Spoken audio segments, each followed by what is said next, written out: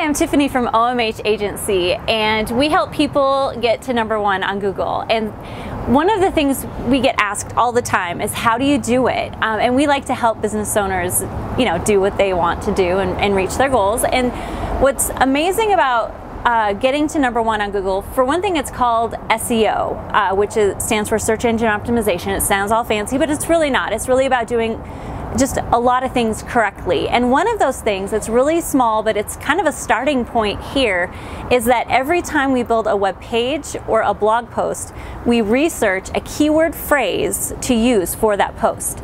Um, and how we use it, that's a whole nother story. But the first step is just to look for it. Um, and there's a lot of tools to look up keywords and, uh, and the best ones to use for your each web page. And use a different keyword phrase for each page.